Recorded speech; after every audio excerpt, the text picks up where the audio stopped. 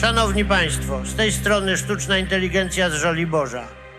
Zapraszam na wywiad podcastu dezinformacyjnego, bo my jesteśmy gotowi na dialog. Tylko trzeba mieć z kim rozmawiać.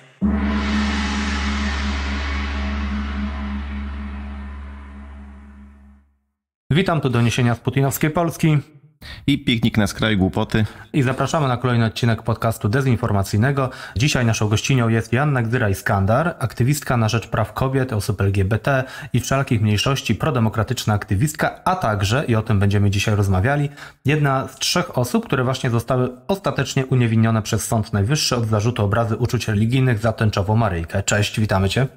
Cześć. No i y, chcielibyśmy zrobić ten odcinek, znaczy zbudować w nim taką jakby całą tą historię od początku, bo to jest dość ciekawe, bo cały proces trwał około 5 lat, od wiosny 19 roku, tam bodajże od maja, teraz do marca 24.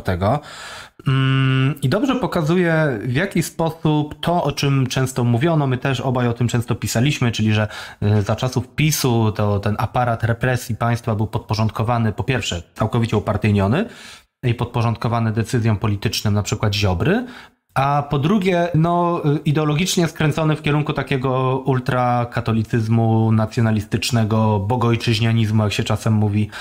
Wasza historia to jest właśnie taki dobry przykład zderzenia osób, które no, coś tam manifestują, o coś tam walczą, tak do tego za chwilę dojdziemy, o co dokładnie, ale które po prostu jakoś tam sobie działają aktywistycznie, zderzenia z tym całym molochem, tak, tego, tego aparatu państwowego, ale ostatecznie wygrywacie, ale trwa to 5 lat, ciągają was po sądach. Zaangażowana w to jest Kaja Godek, oczywiście po przeciwnej stronie. Zaangażowany jest Ordo Juris, oczywiście po przeciwnej stronie. E, Świetny wiceminister... ten skład. Ten, ten skład jest po prostu perfekcyjny. I ksiądz, bo Ordo Juris reprezentuje księdza. No tak, rzeczywiście, to o tym za chwilę też powiesz. No i jeszcze tam wiceminister sprawiedliwości, teraz już na szczęście były, pan Michał Wójcik tam was wyzywał od nie wiadomo czego, od jakiś robót chyba was chciał zapędzić. No w ogóle strasznie dziwne rzeczy się działy o tak naprawdę drobną rzecz. Ułóżmy to chronologicznie. Ja wiem, że to już 5 lat trwało, ale właśnie może, może tym bardziej trzeba to zrobić, bo nie każdy może się załapał na początek, niektórzy w ogóle nie pamiętają, że to już miało miejsce i tak dalej. Ułóżmy tę historię od początku, czyli zaczęło się w 2019 roku od tego, że wy y, rozklejałyście wlepki czy plakaty z Matką Boską Częstochowską, która miała w aureole, która tam normalnie jest taka żółto-złota, wpisaną tęczę. I to, był, to była ta zbrodnia. Opowiedzcie jakby po co to robiłyście, dlaczego, jaki miał być przekaz tego, mm, nie wiem, manifestu, tak? Czy, czy, czy y, zabiegu artystycznego. No właśnie, i o, co, i o co w tym chodziło i o co oni się obrazili? I kto się obraził? Ta akcja nie jest w ogóle zawieszona w próżni, bo nasza akcja była tak naprawdę reakcją na to, co zrobił proboszcz Tadeusz Łebkowski w jednym z płockich kościołów z okazji świąt Wielkiej Nocy, czyli takich najważniejszych dla katolików świąt w Polsce.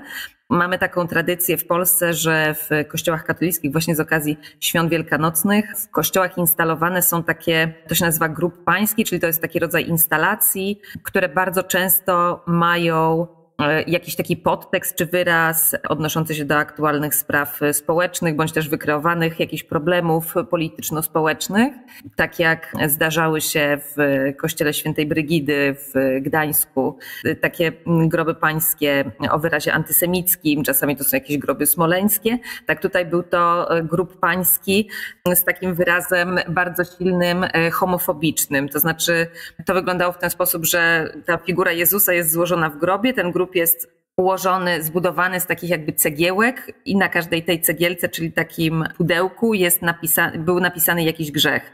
No i tam było tam nienawiść, kłamstwo, zdrada, ale też wśród tych właśnie grzechów było wymienione LGBT, gender, oraz homozboczenia. Bardzo przepraszam, to jest, to jest cytat, dokładnie to, co się tam e, pojawiło. I to było w kwietniu, rzeczywiście, tak jak powiedziałeś, 2019 roku, pod koniec kwietnia.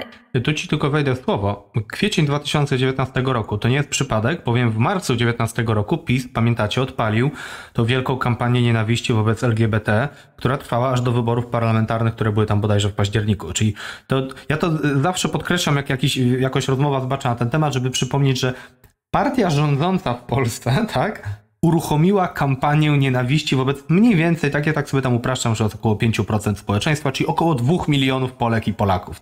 I oni uruchomili taką kampanię nienawiści, szczuli nich, na nich w telewizji, w radio i Kościół brał w tym bardzo aktywny udział. Więc to, to co zrobił ten przykład. ksiądz, y, to jest przykład, to co zrobił ten ksiądz Łebkowski, tak? Tak. Tak, ten ksiądz Łebkowski w Płocku to jest element tej kampanii. Później podbijany na przykład przez biskupów Jędraszewskiego, który właśnie przeszedł na emeryturę, albo Wojdę, który właśnie go zastąpił. Przepraszam, że się wciąłem, kontynuuj. No problem. E, Ja bym dodała tutaj jeszcze jeden e, ważny kontekst, bo to było dokładnie w czasie e, kampanii wyborczej do Europarlamentu. I dlaczego to jest ważne, to do tego też za chwilkę dojdę. Natomiast no właśnie, mamy ten, tą homofobiczną instalację w jednym z płockich kościołów. Dowiadujemy się o tym z mediów społecznościowych, zgadujemy się, że to jest po prostu coś absolutnie nie do pomyślenia, że nie możemy tego po prostu tak zostawić. Nie będziemy po prostu milczeć, kiedy ktoś robi takie rzeczy. Postanawiamy zareagować, a ponieważ mamy już na podorędziu naklejki z tęczową Maryją, stwierdzamy, że to jest akurat super, super się tutaj nadadzą, bo są takim symbolem bezwzględnej bez takiej, mm, wiecie, nie pozostawiającej żadnych wątpliwości, y, miłości, akceptacji, troski. No i z tymi naklejkami oraz z plakatami z tęczową Maryjką jedziemy do Płocka, ale mamy ze sobą jeszcze coś. Mamy ze sobą także plakaty z listą biskupów. To jest lista stworzona przez nieistniejącą już Fundację Nie Lękajcie się, biskupów, którzy w sposób systemowy tuszowali przypadki pedofilii w polskim kościele katolickim. I chcemy tą naszą akcją, bo te wszystkie elementy rozklejamy właśnie wokół tego kościoła z tą homofobiczną instalacją. I chcemy przez to powiedzieć bardzo wprost, że Kościół tworzy takiego wyimaginowanego wroga w postaci społeczności osób LGBTQ+, twierdząc, że to właśnie te osoby i ta społeczność zagrażają polskiej rodzinie, polskim dzieciom. I nie będę może wchodziła w szczegóły tej narracji, bo jest ona po prostu potwornie okrutna i myślę, że może być też dla kogoś po prostu triggerująca, ale myślę, że wszyscy wiemy też całkiem dobrze, jak ona wygląda w tych, w tych brutalnych szczegółach, ale chcemy jednocześnie pokazać, że Kościół, który właśnie z jednej strony tworzy tego fejkowego wroga, z drugiej strony sam systemowo chroni osoby, które tak naprawdę krzywdzą dzieci. Chcemy pokazać tą monstrualną e, hipokryzję, no w połączeniu oczywiście z tym, że Kościół jest bardzo mocno wspierany przez państwo, także przez, przez to państwo pisowskie. No i to jest ta nasza akcja. I wiecie, w trakcie, pamiętam nawet do, do teraz, jak z Anką rozklejamy te plakaty i rozmawiamy tak między sobą, że kurczę, nawet jeżeli ktoś nas złapie, znajdzie, jakoś zainteresuje się tą akcją, no to może nam przylepią kodeks wykroczeń i umieszczanie tych naklejek i plakatów w miejscach do tego nieprzeznaczonych. No bo faktycznie, wiecie, to była tablica ogłoszeń parafialnych, no ale my nie jesteśmy, nie miałyśmy zgody administratora, nie ukrywam, aby tam zamieścić te naklejki ani plakaty. Jakieś tam, wiecie, te, takie transformatory, jakieś skrzynki, znaki drogowe, słupy, latarnie, ławki. Będzie taka mała architektura, jakaś taka infrastruktura miejska. I tam te naklejki i plakaty po prostu trafiają. No i tak myślimy, że okej, okay, no to może ten kodeks wykroczeń, a tu po prostu akcja urosła do jakichś monstrualnych rozmiarów. Nakręciła ją tak naprawdę Kaja Godek, która pojechała tam wesprzeć księdza. Myśmy o tym nie wiedziały. Ona dzień po naszej akcji miała tam po prostu konferencję prasową. No i przy okazji wpadły jej w ręce nasze przepiękne naklejki. Kaja zaalarmowała na, na Twitterze ówczesnego ministra spraw wewnętrznych i administracji Joachima Brudzińskiego z PiSu, że tutaj dochodzi do właśnie ataku, napaści na najświętsze tutaj polskie wartości. Joachimowi Brudzińskiemu oczywiście jest to bardzo, bardzo na rękę i on tam wypisuje jakieś bzdury o jakimś kulturowym barbarzyństwie, w sensie, że my jesteśmy tymi barbariankami, które się dopuszczają tutaj tych, tych jakichś strasznych zbrodni. I on tak naprawdę osobiście nadzoruje to, co się dzieje później. Relacjonuje to także na swoim Twitterze. Pierwsza, że tak powiem, wpada Ela, a dokładnie wpada do niej policja. Bodajże dziewięcioro bądź dziesięcioro policjantów robi jej wjazd na chatę o szóstej z minutami w poszukiwaniu naklejek z tęczową Maryją. Odpowiedziałaś na pytanie, które miałem zadać, bo miałem zadać pytanie, skąd się dowiedzieliście, że macie problemy? Czy to już po tym, jak to w mediach się pojawiło, czy dopiero po tym, jak policja do kogoś zaczę, do, zaczęła do was wjeżdżać? Bo domyślam się, że to nie tylko jedna osoba była, tylko też no, generalnie chyba wszyscy mieliście problemy. Wiesz co, to było tak, że oczywiście obserwowałyśmy, jak to się rozwija w mediach i mediach społecznościowych. No, głównie obserwowałyśmy Twittera y, ówczesnego ministra Brudzińskiego, bo tam było najwięcej informacji na ten temat. No już jakby wiedziałyśmy, że, no, że nie będzie tak, tak łatwo, jak zakładałyśmy, e, ale znaczy powiem wam zupełnie szczerze i naprawdę nawet bez ironii, ja byłam w szoku, że ktoś wymyślił, że to może być obraza uczuć religijnych. W sensie naprawdę byłam w autentycznym szoku, choć może już jako aktywistka nie powinna mnie coś takiego szokować. Ale Przepraszam, jednak... tu, się, tu się muszę wtrącić.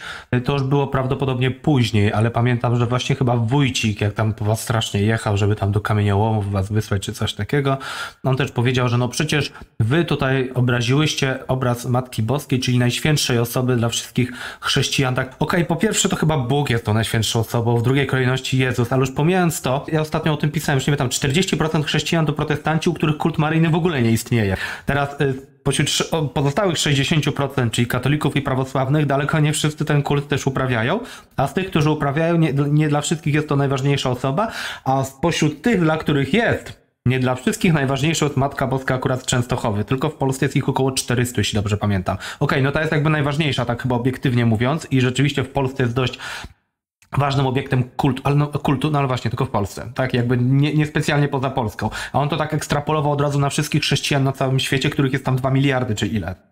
Oni do perfekcji opanowali to obrażanie się w czyimś imieniu. To mi się przypomniało tak. coś takiego historycznego, trochę jak pamiętam, jak czytałem sobie biografię Stalina, to okazało się, że w momencie, w którym jeszcze można go było krytykować, to kiedy ktoś zaczynał go krytykować, to on zawsze to, jak, jak, jak na to odpowiadał, to zawsze traktował to tak, jakby to był atak na Lenina. I tu jest troszeczkę tak samo, tylko to jest zawsze atak na Boga. Ale właśnie sobie przypomniałem, mówię, że y, myślę, że to nie, nie potraktujemy jako obrazy uczuć.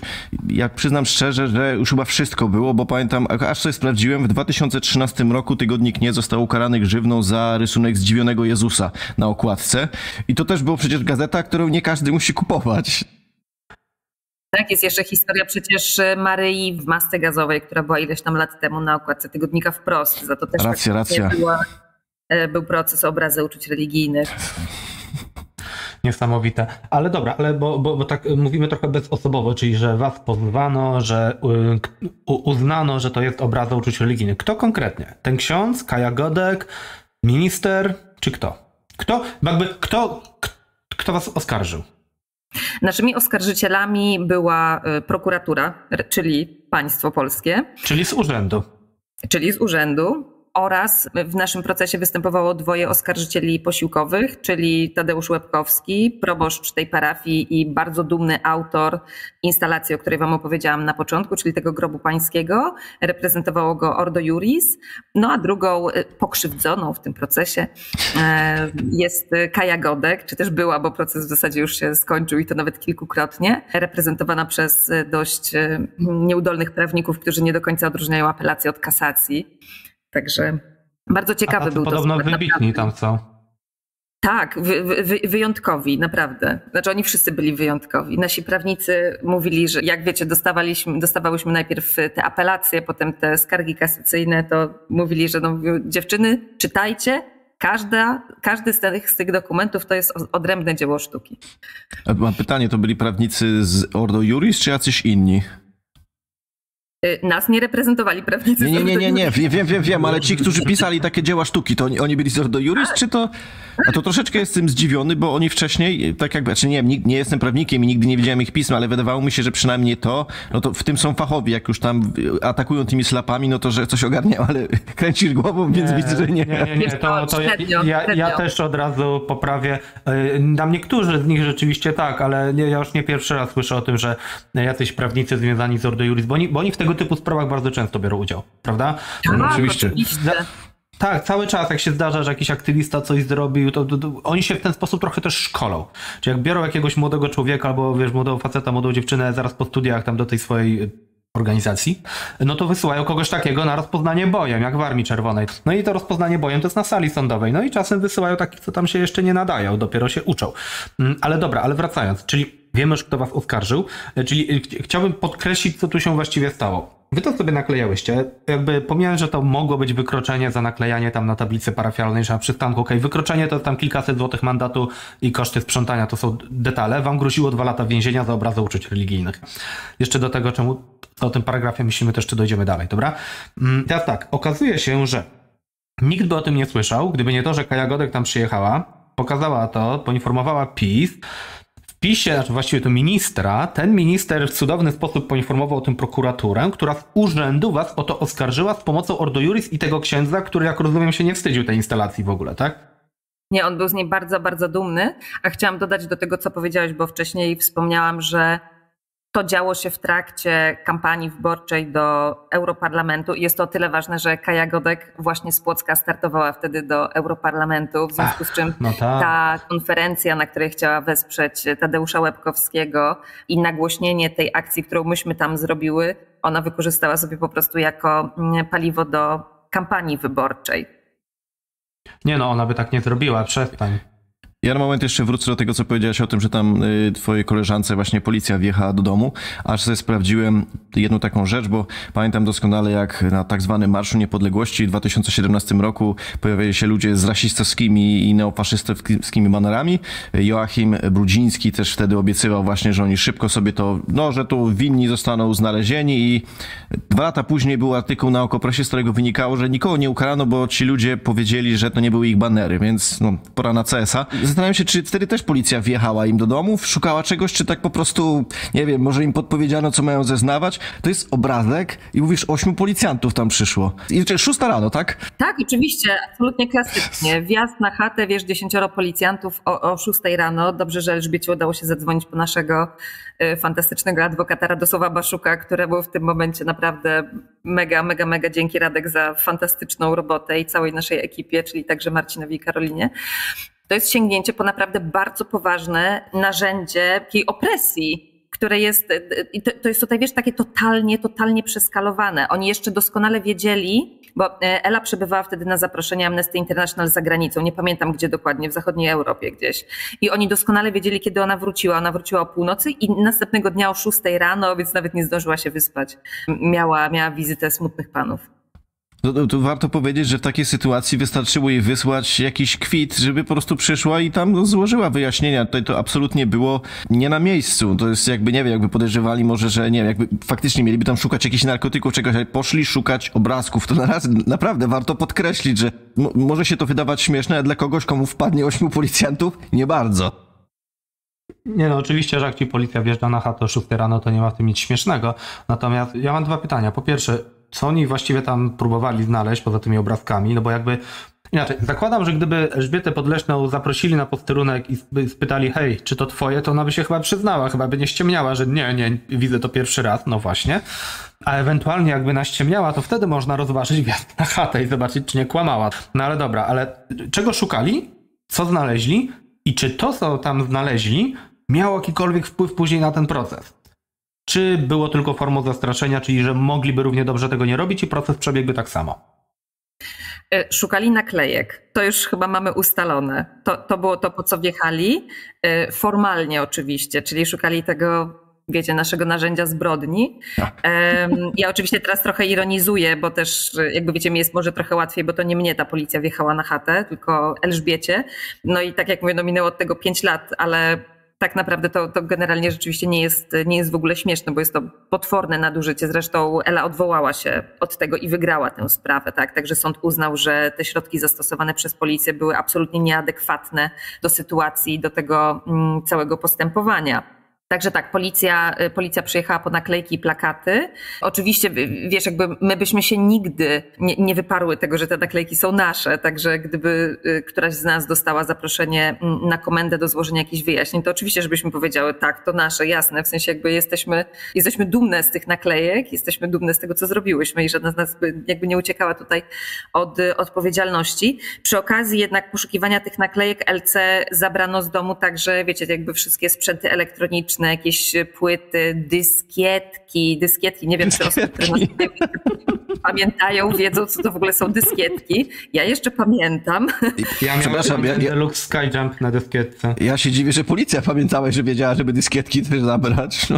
A jednak, a jednak. Wiesz, takiej przetrzepali chatę, że gdzieś coś tam znaleźli, pendrive'y, płyty, wiecie, wszystkie takie rzeczy, jakby nie, nie bardzo wiadomo po co, ale tak na wszelki wypadek. No to właśnie, to w ogóle nie miało żadnego związku ze sprawą. No chodziło o jakieś plakaty i wlepki, więc y, szukać tego. Wiesz, jeśli potrzebowaliby jeśli potrzebowaliby pliku źródłowego, to mogli też o to poprosić. Jakby ja w każdej chwili też mogę wysłać, to żaden problem, nie? Wystarczy powiedzieć. Mam takie kolejne pytanie, bo przesłuchiwane byłyście przez prokuraturę? Przez policję. Elka została przez policję zawieziona ze swojego mieszkania mm, właśnie do Płocka. Za nią pędził e, nasz adwokat Radek Baszuk i dzięki jego obecności Ela została tam e, przesłuchana i tego samego dnia wypuszczona i wróciła do Warszawy. Natomiast ja i Ania same zgłosiłyśmy się na policję właśnie za pośrednictwem naszego adwokata. Pojechałyśmy złożyć zeznania na komendę w Płocku, gdzie Ani od razu zostały postawione zarzuty mi nie, ponieważ poza tym, że przyszłam i powiedziałam, hej, to ja jestem tą trzecią osobą, to policja nie miała na mnie absolutnie nic. Jeśli chodzi o Elę, no to pojechałyśmy tam jej samochodem, więc jakby było wiadomo, że po tym jest bardzo łatwo sprawdzić monitoring i zobaczyć, czy to był samochód. Jeżeli chodzi o Anię, to w taki dość niefortunny sposób nagrała się na kamerę miejską, ponieważ, słuchajcie, to muszę wam opowiedzieć, bo to jest strasznie śmieszne tak naprawdę. Naklejałyśmy plakat właśnie na jakąś taką skrzynkę, która była przymocowana do słupa, a na czubku była taka obracająca się kamera miejska. My wiedziałyśmy, że ta kamera tam jest. No i naklejamy ten plakat i ja mówię, Anka, coś tu buczy. Ja mówię, czy nie wiem, co, co tu się dzieje. A ona mówi, wiesz co, to chyba ta kamera się obraca. I podniosła głowę i kamera akurat skierowała się na nią. W związku z czym Ania ma takie fantastyczne zdjęcie z takim, wiecie, z taką twarzą do góry. Eee. I to jest to. Na mnie, wiecie, jakby nie mieli nic. Mimo, że na przykład ja miałam każdą z tych naklejek w ręce, bo odlepiałam rogi, żeby szybciej nam potem szło, wiecie, odrywanie ich i, i, przyklejanie, żeby to szybciej poszło. A mówię o tym dlatego, że nam były oczywiście pobierane odciski palców, yy, pobierali nam DNA, wiecie, miałyśmy y, sesję foto na ściance, wszystkie tam znaki szczególne, jakieś tatuaże, jakieś takie rzeczy. Wiecie, no prawdziwe przestępczynie, nie? Mhm. Dla, dlatego mówię o tych odciskach palców, bo oni to naprawdę sprawdzali. I teraz, co jest ciekawe, to to, że na, sprawdzili wszystkie te naklejki i nie znaleźli tam ani odcisków moich, ani odcisków Anki. Znaleźli chyba na jednej jeden odcisk Eli, a na wszystkich pozostałych były odciski kogo? Tadeusza Łebkowskiego. Co? Dlaczego? No. Ale on chodzi, chodził już, po, w sensie, no chodził je macał po prostu po mieście? I były, były tam Może je zrywał pewnie... po prostu. Może, możliwe, możliwe. No dobra, bo wy ich tam nakleiłyście sporo, nie? Tam kilkaset? Nie wiem. Pewnie kilkadziesiąt. Kilkadziesiąt przesłuchania, jak już były, to one jakoś chodziły, nosiły znamiona jakiejś fachowości, czy to był dalej jakieś próba zastraszenia? No bo nie wiem, czy cię próbowali zastraszyć, bo skoro tobie nie chcieli uwierzyć, że tam byłaś, no to nie, nie wiem, jak to mogło, nie, nie, wiem, jak to wyglądało, ale właśnie no skoro y, tą Elę zgarnięto i zabrano na komendę, no to tam chyba też usiłowano ją w jakiś sposób zastraszyć, przynajmniej tak mi się wydaje. Te wszystkie środki, które zostały zastosowane wobec Elżbiety były totalnie obliczone oczywiście na zastraszenie, na wywołanie efektu mrożącego, zarówno wobec niej, jak i innych osób aktywistycznych, czy takich osób, które jakoś publicznie chciałyby mm, się jakoś, wiecie, zaangażować, wyrazić poparcie dla osób LGBTQ+, czy sprzeciwić się tej kampanii nienawiści prowadzonej przez Kościół i państwo wobec tej społeczności. Także absolutnie tak. My z Anią byłyśmy w lepszej sytuacji, dlatego że to my zdecydowałyśmy, kiedy się y, ujawniamy, że to my jedziemy na tę policję, jedziemy z adwokatem, więc nasza pozycja była tutaj już trochę lepsza. I my miałyśmy trochę więcej kontroli nad tą sytuacją. Moje przesłuchanie wyglądało w ten sposób, że ja przyszłam, powiedziałam, że to ja i że tego i tego dnia z tymi i tymi osobami zrobiłam tu i tu, to i to. I ja na tym skończyłam swoje zeznania. Oni Aha. mi tam zadawali jakieś różne pytania, ale ja powiedziałam, że na wszystkie szczegółowe pytania mogę odpowiadać w sądzie. Im powiedziałam wszystko, co mam do powiedzenia w tej sprawie na tym etapie i dziękuję bardzo za dalszą rozmowę. No ale wiecie, to tam trwało, bo policjant, który mnie przesłuchiwał, musiał mi zadać każde pytanie. Ja musiałam powiedzieć tą formułkę, że mm, teraz nie będę odpowiadać na te pytania, tylko tam odpowiem przed sądem. Więc w ten sposób to wyglądało i dla mnie akurat osobiście, znaczy wiecie, jakby cała ta sytuacja oczywiście była mega opresyjna, no bo jak wiecie, to wyeskalowało do jakichś rozmiarów w ogóle monstrualnych, do, do, do takiej sytuacji, w której myśmy się no naprawdę w najśmielszych snach by nam to y, nie przyszło do głowy, choć żyłyśmy już w państwie PiS parę lat i, i, i nie wiem, może powinnyśmy, ale kurczę, no Wiesz co, się tak zastanawiam, czy to przypadkiem, nie, czy przypadkiem chciałem powtórzenie zrobić, ale będę musiał, czy to przypadkiem nie był pierwszy przypadek, w którym aparat opresji został wykorzystany przeciwko no, osobom jak najbardziej prywatnym, bo wcześniej te wszystkie jakieś pozwy, to, a czy pozwy to obrazy uczucieli religijnych, no to był na przykład Nergal, to był tygodnik Nie, Urban chyba dwukrotnie nawet tam był i to, by, to był tygodnik wprost, no ale to były jakieś, nie wiem, podmioty, instytucje, a nie przypominam sobie, że wcześniej zwykłych właśnie y, ludzi coś takiego spotkało. Nie wiem, czy przypadkiem nie byliście właśnie prekursorkami tego, czy na was się to nie skupiło, bo wcześniej nie mogło to wywołać efektu mrożącego, no bo dobra, ktoś tam, nie wiem, ktoś tam zgłosił, że Urban coś zrobił, no to dobra, no Urban to Urban, y, jakieś inne gazety, coś w tym stylu, mówię, tu są osoby prywatne i to naprawdę mogło troszeczkę szokować, no a mówię, te, cały czas przypominam tych ośmiu policjantów o 6 nad ranem z powodu naklejki, to naprawdę nigdy dość przypominania tego. Jeszcze bardzo głośna była sprawa na przykład Doroty Nieznalskiej, artystki, za jej e, wystawę w Zachęcie. To też była taka, e, to były chyba te genitalia przybite do krzyża. To też była bardzo głośna sprawa obrazu uczuć religijnych, ale to znowu też właśnie jakby osoba publiczna, artystka, więc też e, i, i, i, to, i to było już naprawdę dobrych parę, parę lat temu, bo ponad 10, jeśli dobrze pamiętam. Ale wracając do twojego pytania, wiesz co, jeżeli chodzi o używanie tego przepisu wobec osób prywatnych, miało to miejsce, ale na pewno nie na taką skalę jak po dojściu PiS do władzy, gdzie rzeczywiście aktów oskarżenia w tych sprawach było zdecydowanie, zdecydowanie więcej. Z tego, co ja się orientuję, wcześniej bywało tak, że takie czyny, o których ja bym powiedziała, że są na przykład jakimiś czynami chuligańskimi, albo są kradzieżą, albo są zniszczeniem jakiegoś mienia, również traktowano jako obrazy uczuć religijnych. Czyli na przykład ktoś, nie wiem, po pijaku wpadł do kościoła i ukradł jakąś skarbonkę. No to to jest kradzież, ale było to kwalifikowane na przykład jako obraz uczuć religijnych, ale faktycznie dopiero po dojściu PiSu do władzy, kiedy no, wydarzały się takie akcje jak ta nasza, czy akcja aktywisty z Gdańska, który chciał wyrazić z nami, chciał wyrazić solidarność z naszą akcją i w koszulce właśnie z tęczową jeszcze dodatkowo jedzącą banana. Przepraszam. To ma ten kontekst e, cenzury w Muzeum Narodowym, którą chciał tak. zaprowadzić e, powołany przez Glińskiego nowy dyrektor tej instytucji, usuwając z wystawy pracę Natalii NN. On w takiej koszulce poszedł na gdański Marsz Równości i tam został przez lokalnych pisowców właśnie wyhaczony i również to oni donieśli do prokuratury, że tutaj właśnie zostały obrażone ich uczucia. Jego sprawa także dotarła aż do Sądu Najwyższego, gdzie oczywiście został uniewinniony od wszelkich zarzutów. Jest też taka sama sprawa w Częstochowie dla aktywistów, którzy tam nieśli właśnie taki obrazek z tęczową Maryją też podczas Marszu Równości. Tęczowe flagi na pomnikach, między innymi na pomniku Jezusa pod jednym z warszawskich kościołów także. Także faktycznie jakby na taką skalę i, i w takim kontekście właśnie takiego aktywizmu to się zaczęło dziać dopiero, dopiero zapisu.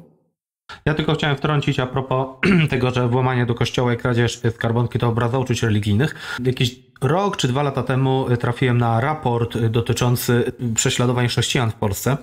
Znaczy trafiłem na niego w taki sposób, że zainteresowało mnie, czy Matecki, Dariusz Matecki, słynny i to jego fidei defensor całe, które rzekomo ma się zajmować właśnie szkalowaniem i prześladowaniem chrześcijan, że oni to właściwie robią. Więc do nich napisałem maila, siema, Chciałem tak opisać tą sprawę, czy wy zbieracie statystyki. No okazało się, że nie. Ale byli na tyle mili, że mnie odesłali do zaprzyjaźnionej organizacji. Nie chcę pomylić jej nazwy, bo ona mi się zawsze myli z tą, która w Wilanowie buduje to centrum medialne, ten ksiądz od Salceconu, który był aresztowany niedawno. One mają, one, zawsze mi się te dwie nazwy mylą, więc nie powiem nazwy, powiem tylko, że mm, ten ich poddział nazywał się Laboratorium Wolności Religijnej i oni wydają, wydają takie raporciki, ta piękna nazwa, dofinansowana zacną kwotą z Funduszu Sprawiedliwości, od razu dodam oczywiście. To jest tak, jakby mi ktoś powiedział, dam ci. Oni dostali chyba 5 milionów i zrobili chyba trzy takie raporty i parę eventów. Załóżmy, że milion poszedł na te raporty. Jakby ktoś mi dał 1% tej kwoty, czyli 10 tysięcy, to bym w weekend taki raport spokojnie pyknął. To był po prostu PDF, gdzie pozbierali z mediów wszystkie przypadki, które im się udało znaleźć. Ewidentnie to wyglądało tak, że ludzie wpisywali w Google, y, ok, Wielkopolska, dewastacja kapliczki. No i znajdowali tam z tych lokalnych portali jakieś takie informacje. Ja y, zrobiłem z tego statystykę, bo tych przypadków tam było około 140 i się wydawało, że to tak strasznie dużo. Y, takich, które można uznać za manifest polityczny, jakiś taki antyklerykalny, było, jeżeli dobrze pamiętam, trzy. Rzeczywiście, że ktoś tam wszedł, zakłócił mszę, w jednym wypadku ktoś petardę wrzucił w środku mszy, no to to już jest niebezpieczne, bo ludzie mogą spanikować, tam się zadeptać i tak dalej. Raz ktoś tam na chyba szopce bożonarodzeniowej nakleił jakieś wlepki, czy tam jestem lewakiem, coś takiego. Pozostałe to było tak, włamania z kradzieżą, i praktycznie wszystkie identyczne, czyli że w nocy gdzieś na wsi do parafii łamuje się dwóch typów, kradną skrzynkę z datkami, w której było, nie wiem, 600 zł na przykład, tak? No przecież wiadomo, że to jest zwykła kradzież y, z włamaniem, bo, bo wiedzą, że tam są pieniądze w tej skrzynce i że nikt tego nie pilnuje. Były dewastacje, ale dewastacje nigdy nie dotyczyły nie wiem, ołtarza w kościele, tylko dotyczył jakichś kapliczek w lesie. To każe przypuszczać, że ten jak jakiś pijaczek wracał w piątkowy wieczór, prawda, do domu i po prostu jeden rozwalił przystanek, a drugi akurat miał kapliczkę po drodze, to ją skopał i przewrócił. I oni z tego robili mega poważne statystyki dotyczące e, prześladowań chrześcijan. Słuchajcie, jak tych przypadków było 140, to oni potrafili wyciągać z tego jakieś statystyki procentowe z dokładnością do dwóch miejsc po przecinku. Czyli pisali, że ilość tutaj ataków na miejsca sakralne wzrosła z 4,60 2% do 6,54%. A potem człowiek patrzy, no tak, z 4 przypadków do 6. Czyli po prostu statystyka małych liczb, to jest zupełny przypadek. Czyli jeżeli jednego, w jednym roku udało im się znaleźć w internecie jakąś wiadomość z jakiejś wsi gdzieś, a w drugim roku o jedną wiadomość mniej, ich mogło być tyle samo, to już mają zupełnie inną statystykę. I to jest taka zabawa za pięć baniek z Funduszu Sprawiedliwości. Więc oczywiście ja zmierzam do tego, to może w ogóle przejdźmy teraz do tego tematu, a potem wrócimy do waszego procesu, dobra? To ten temat chciałem później poruszyć. Ja zmierzam do tego, że do, do w ogóle tego przepisu o obrazie uczuć religijnych, że on jest notorycznie nadużywany i że właściwie nie wiadomo, co to ma w ogóle być. Po pierwsze, to ogranicza dyskusję. Czyli w ogóle jakby w Polsce nie ma dyskusji na temat tego, czy w ogóle te dogmaty są prawdziwe, czy nie, czy w ogóle mają sens, czy nie, czy można w ogóle o nich dyskutować. No nie, nie można, bo od razu obrażasz uczucia religijne. Ale tu się okazuje, że nawet gdy włączyć jakiś element obiektu kultu religijnego do instalacji artystycznej, tak jak wy, gdzie ewidentnie przekaz miał być pozytywny, protolerancyjny, tak, przeciwko nienawiści, przeciwko temu, co ten ksiądz Łebkowski tam zrobił, gdzie, gdzie szczuł na ludzi, to też nagle zostaje i to przez państwo, nie to, że przez jakąś Kaję Godek, tylko przez państwo, a ona tylko oskarżycielką e, posiłkową, uznane za obrazy uczuć religijnych. Więc może przejdźmy teraz do tematu samej, samej tej obrazy. Co to jest? Czemu to jest? I czy uważacie, że, szczególnie Tasia, czy uważasz, że to że nie ma sensu, to wiemy, ale czy to zniknie, nie zniknie, jak jest nadużywane i w jaki sposób w waszym procesie było nadużyte przeciwko wam? Sorry, bo się rozgadałem. Wiesz co, powiem tak. I tutaj też absolutnie zgodzę się z naszym obrońcą Radkiem Baszukiem, który bardzo szczerze powiedział o tym podczas swojej mowy końcowej w Sądzie Najwyższym, że on po tylu latach prowadzenia tej sprawy nadal nie wie, czym jest obraza uczuć religijnych. I powiem Ci szczerze, że ja też nie wiem. Bo okay ten nasz proces w ogóle nie był o żadne uczucia religijne, czymkolwiek by one nie były. One były o obrazę uczuć homofobicznych czyichś które z tego co się orientuję nie są jeszcze chronione e, w polskim prawie e, i mam nadzieję, że nie będą. Także ten proces w ogóle nie był o obrazy uczuć religijnych, tak jak mówię, czymkolwiek by one nie były. Jak ten przepis wchodził do polskiego kodeksu karnego w 1997 roku, to stały, stała za tym dosyć szlachetna intencja. Mianowicie ustawodawca miał taką intencję, aby ten przepis chronił mniejszości religijne w Polsce. No ale w praktyce to się nie dzieje. To znaczy ten przepis, przynajmniej w ostatnich latach, bo oczywiście by, były też kiedyś takie sytuacje, ale to były naprawdę bardzo, bardzo pojedyncze e, przypadki, kiedy, nie wiem, ktoś e, chyba wrzucił czy przyniósł jakoś pod meczet jakąś głowę świni czy coś takiego. Było, wrzucili to w Warszawie było. Tak. Czy to tak. chyba dom modlitwy, a nie meczet, ale tak, wrzucili jakąś głowę świni do. E, a wiadomo, że w islamie świnia jest uważana za zwierzę nieczyste nieczyste. Więc ten przepis miał służyć w zamyśle raczej takim sytuacjom, tak? Czyli aby wiadomo, że w kraju, w którym mamy przynajmniej na tym poziomie deklaratywnym większość katolicką, żeby mniejszości religijne też miały na wszelki wypadek jakąś tam ochronę w prawie. No ale widzimy jaka jest praktyka? Praktyka jest taka, że państwo wykorzystuje ten artykuł z kodeksu karnego, czyli no to jest bardzo poważne narzędzie. To jest artykuł, za który można pójść do więzienia, nawet do dwóch lat. I takie przypadki też w Polsce są, o czym mogę za chwilę powiedzieć, do tak naprawdę wywoływania efektu mrożącego, do cenzurowania, do ograniczania tak naprawdę wolności, wolności słowa, wolności protestu, wolności wyrażania swoich e, własnych poglądów. Nie mówiąc o tym, że no właśnie tak jak w naszym przypadku, my po prostu stanęłyśmy w czyjejś obronie mniejszości, właśnie paradoksalnie mniejszości, która jest prześladowana i która nie ma w Polsce prawnej ochrony przed mową nienawiści, bo w momencie, kiedy rozmawiamy, e, tych przepisów cały czas nie ma. Osoby LGBTQ+. Ale jest, jest projekt chyba, prawda? Jest projekt, jest projekt, tak. ale no właśnie, ale prawa cały czas jeszcze nie ma. Nie wiadomo, kiedy Aha. będzie, bo nawet jeżeli przejdzie przez parlament, no to nie wiadomo, co zrobi z nim miłościwie nam panujący, prawda? Także. Chyba wiadomo. Raczej Chyba wiadomo. wiadomo tak. Tak, hmm. no ale co nie zmienia faktu, że parlament oczywiście powinien zrobić to, co do niego należy. To jest absolutnie jasne i niedyskutowalne. Także jakby to jest bardzo dużo takich paradoksów. I myślę, że y, w tym momencie, widząc jak ten przepis działa, skupianie się na tym, Jaka była intencja? Znaczy, ja tak mówię to jako trochę taką historyczną ciekawostkę, może, czy, czy jakby w ogóle skąd ten przepis się wziął i po co, po co on tu jest. To nie jest to, czym. Znaczy, widzimy, że w praktyce jest zupełnie inaczej. Widzimy, że w praktyce to tak nie działa, że ten przepis jest e, po prostu nadużywany. Także myślę, że to jest naprawdę dobry moment, aby z niego e, po prostu zrezygnować.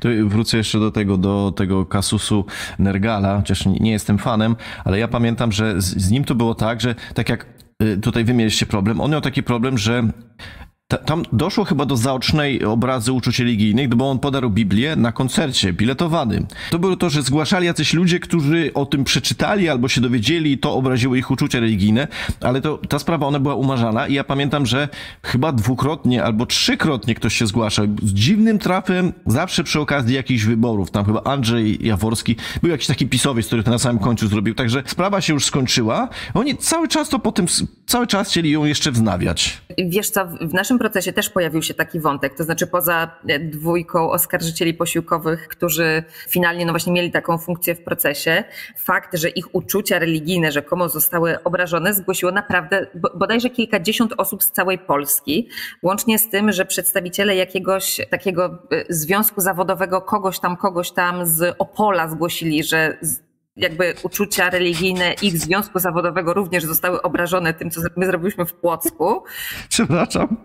Nie wiem z czego, ale to są poważne sprawy. Ja wiem, ale naprawdę, jak się pomyśli, to jest po prostu, ja, wiem, że wam nie było do śmiechu, no ale to jest po prostu jakaś, nie wiem, to jest komedia, no to związek zawodowy ma uczucie religijne związku zawodowego. Przepraszam, nie może mieć. Znaczy ta sprawa poza tym, że jest trochę straszna, no to jest też moim zdaniem niestety trochę śmieszna w tym sensie, że no jest tutaj dużo takich powiedzmy paradoksów czy absurdów.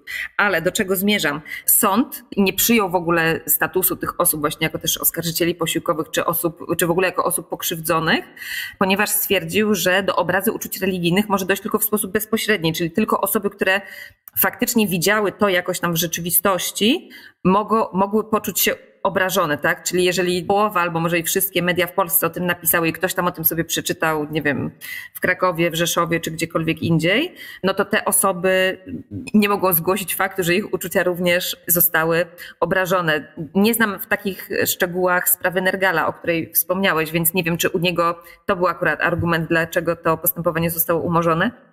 Ale wiem, że tutaj u nas tak było. No i tym bardziej właśnie ciekawa jest sprawa Nergala, która teraz trwa. Nie wiem dokładnie na jakim jest etapie.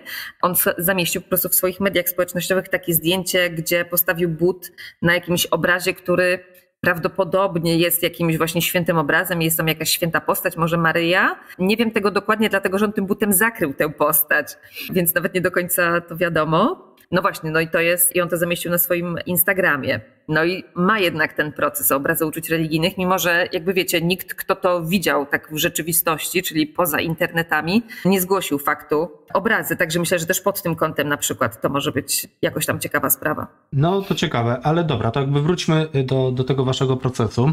No czyli tak, prokuratora was oskarżyła, posiłkowymi był ten ksiądz i Kaja Godek. Kaja Godek wspierało prawnie Ordo Juris. Nie, księdza wspierało Ordo Juris. Księdza, księdza przepraszam. A Kaja Godek? A Kaja Godek kto? Kaja Godek miała swoich prawników, którzy nie są, z tego co wiem, związani z żadną tego rodzaju organizacją. Okej. Okay. Powiedz, jak ten proces w ogóle przebiega. Możesz tutaj jakimiś śmiesznostkami, bo wiem, że jeżeli chodzi już o rozprawę przed Sądem Najwyższym, będziesz miała dobrą śmiesznostkę, bo już o tym rozmawialiśmy wcześniej, e, jak tam pani prawniczka jedna się produkowała. E, ale czy tutaj też coś takiego było? Chodzi mi o takie, wiesz, twoje wrażenie jakiegoś takiego absurdu, no bo umówmy się, zarzut jest absurdalny, to jakby groźny, i niebezpieczny i formalnie wam groziło do dwóch lat więzienia, jak w jakimś Iranie, ale to jest też jednak śmieszne i absurdalne. Mm, więc jakby, jakbyś mogła właśnie to poruszyć w tym kierunku takich dziwnych, absurdalnych, takich bezsensownych zupełnie ich zachowań, postulatów, żądań, być może jakichś wniosków, y, wszystkich trzech, czyli Kai Godek, jej prawników, księdza Jordo Juris albo prokuratury. Mhm. Wiecie co, znaczy tak, nasza rozprawa w ogóle w pierwszej i drugiej instancji odbywała się w Płocku, czego się odrobinę obawiałyśmy, bo Płock ma taką opinię dość jednak konserwatywnego miasta. Natomiast pani sędzia, która prowadziła sprawę w pierwszej instancji, dała wszystkim absolutnie tyle czasu do, że tak powiem, wygadania się, ile kto chciał. W związku z czym Tadeusz Łebkowski, czyli proboszcz, strzelił tam ponad godzinne kazanie, opowiadając tam o jakichś swoich rodzinnych tradycjach, o jakichś ryngrafach z Maryją, jakichś tam nie, niesamowitych różnych rzeczach to, co jakby ja stamtąd zapamiętałam, to taka myśl, że jakby Maryja jest mu tak bliską osobą, tak jak członek rodziny i tak jak tych zdjęć członków rodziny na przykład nie wiesza się w toalecie, tak samo z Matką Boską tak by nie można było zrobić, bo też właśnie ciągle pojawia się zresztą ten argument, Ordo Juris pisze o tym w każdym swoim newsletterze, w którym porusza temat naszej sprawy o tych naklejkach na koszach na śmieci i toalecie. Niestety nie ma jakby żadnego dowodu poza tym, że trzy osoby widziały tę naklejkę i każda z nich twierdzi, że ją zerwała o różnych porach. E, co wskazał nasz adwokat, że jeżeli jedna pani mówi, że zerwają o 6 rano, druga pani mówi, że zerwają o 8 i Kaja Godek mówi, że zerwają przed południem, to się chyba samo komentuje. No ale jednak Cud. znaczy, sąd uznał, że jeżeli ktoś to widział, no to prawdopodobnie tak było, ale jakby nie można ustalić, co się tam wydarzyło. Więc jakby sąd przyjął, że naklejka na toalecie była, ale nie można na przykład ustalić, kto ją tam powiesił. Takie było rozstrzygnięcie sądu, nie do końca zgodne z rzeczywistością, no ale, ale tak było. Wiesz, ty przed momentem powiedziałeś, że to był cud. Moim zdaniem po prostu naklejka osiągnęła stan kwantowy. Była tam w wielu miejscach i to o różnych godzinach. Ciekawe, czy oni jakoś ustalali wcześniej, kto ktoś powie, czy po prostu tak bardzo chcieli wzmocnić ten przekaz z tą naklejką, że wyszło na to, że potem każdy zerwał tą samą naklejkę kilka razy. Może ją potem nalepiali. Ja, przepraszam, mówię, jak słucham tego, ja wiem, że to w trakcie rozprawy pewnie nie było do śmiechu, ale to, to teraz brzmi po prostu jak jakieś, jakaś, no taka komedia i to momentami, momentami już chyba przekombinowana i nieśmieszna. Tak, jak farsa i to taka kiepska farsa. Mnie z kolei interesuje jeszcze, jak ten ksiądz szczególnie uzasadniał tę te, te, homofobiczną instalację na grup pański. No bo jakby wszystko się rozbija o to, że gdyby uznać za prawdę, że to, co on mówi, że on tam broni cywilizacji chrześcijańskiej przed jakimś straszną ideologią neomarksistowsko-LGBT-owsko, jakąś tam, no to wtedy rzeczywiście wasza akcja, e, jako sprzeciwiająca się dobrej akcji plus jakoś tam naruszająca wizerunek Matki Boskiej, mogłaby być uznana za złą. Natomiast no jakby, umówmy się, jego akcja była homofobiczna, no bo wśród grzechów takich jak tam nienawiść, nie wiem, pycha, złość i tak dalej, wymienia LGBT, gender i co tam jakieś zboczenia, jak on to uzasadnia? No bo powiedziałeś tak, że on był z tego dumny, że w ogóle nie uważa, by zrobić coś złego, że tam się chwalił jakimiś tradycjami, jakimiś ręgrafami z Matką Boską sprzed 200 lat, jak rozumiem, tak? I że dla niego Matka Boska sprawia jak członek rodziny. Okej, okay, dobra, jest po prostu bardzo wierzącym człowiekiem, tradycjonalistą, rozumiem, ma prawo taki być. Natomiast jak on uzasadniał samo, samo to użycie tych haseł w tej instalacji, bo jakby to jest to clue, tak? To jest ten pierwotny problem, którego gdyby jego nie było, to wy byście w ogóle tych naklejek nie naklejały i w ogóle całej sprawy by nie było. On się powoływał na nauczanie Kościoła katolickiego. Przepraszam, nie spodziewałem się tego zupełnie, wiesz, nikt by się tego nie spodziewał. Prawda? Prawda? Kto by, kto by pomyślał, że polski kościół jest homofobiczny, transfobiczny, queerfobiczny, po prostu pod każdym względem. Tak absolutnie jest. Także tutaj no nie ma jakiegoś super zaskoczenia. Jeżeli oczekiwaliście tu jakiegoś, nie wiem, jakiejś spektakularnej niespodzianki, no to niestety nie. Mamy tutaj raczej taki klasyk, czyli księdza, który y, faktycznie uważa, że osoby LGBT to są, czy że bycie osobą LGBT to jest właśnie jakiś rodzaj jakiegoś zboczenia, czy jakiejś dewiacji. I wiecie, jakby on opowiadał te, te, te wszystkie bzdury, powołując się przy tym na katechizm Kościoła katolickiego, w świeckim jednak sądzie, chciałabym przypomnieć, gdzie no jednak obowiązuje nie prawo boskie ani prawo kościelne, tylko obowiązuje prawo państwowe, o czym ksiądz chyba zapomniał. I tutaj przypomina mi się również, że podobny, ale nawet jeszcze trochę mocniejszy argument wystosowała Kaja Godek, przedstawiła, która powiedziała, że seks homoseksualny jest grzechem wołającym o pomstę do nieba. Czy my sobie zdajemy sprawę z tego, że... I my byliśmy takie... Yy? jakby... To jest twoja wiara. Wiesz sobie w co chcesz, ale jakby te osoby zostaw w spokoju i daj, daj żyć, daj żyć normalnie.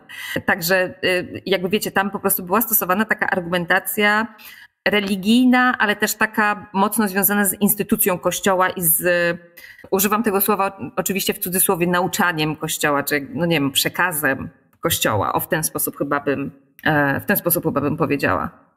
No tak, czyli żaden się nie spodziewał, tak? Czyli po prostu kościół, który od dekad, znaczy wiem, że tak naprawdę od setek lat, ale powiedzmy już tak współcześnie od dekad mówi, że to jest grzech, że ci ludzie grzeszą, mimo że na zachodzie i w Polsce powoli, bo powoli, ale też jakby ci ludzie się jakoś emancypują, te wszystkie mniejszości seksualne, to kościół cały czas stawia temu opór. No i dziwnym zbiegiem okoliczności jeden z przedstawicieli tego kościoła robi coś takiego i potem jest z tego dumny i się powołuje na tą naukę, jak wspomniałaś w świeckim sądzie.